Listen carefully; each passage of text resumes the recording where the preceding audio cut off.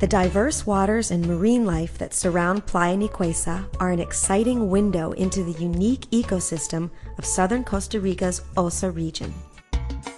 Our signature guided river tour across the Golfo Dulce and down the jungle rivers transports you into the magical world of the mangrove habitat.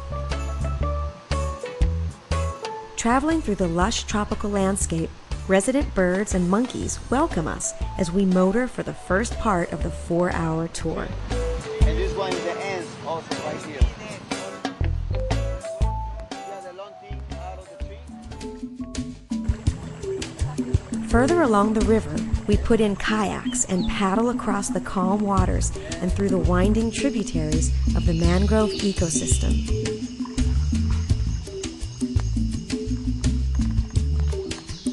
Intimacy of kayaks brings you face to face with the river and its wildlife.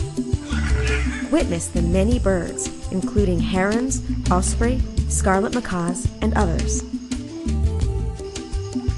Paddle alongside the iguanas, snakes, and crocodiles that make these waters their home.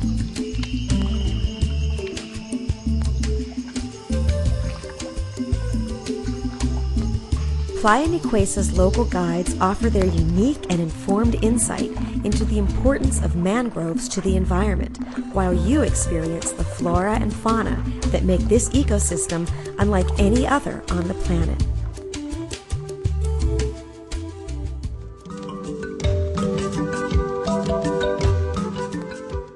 As you head back home to the lodge, don't forget to keep an eye out for the dolphins.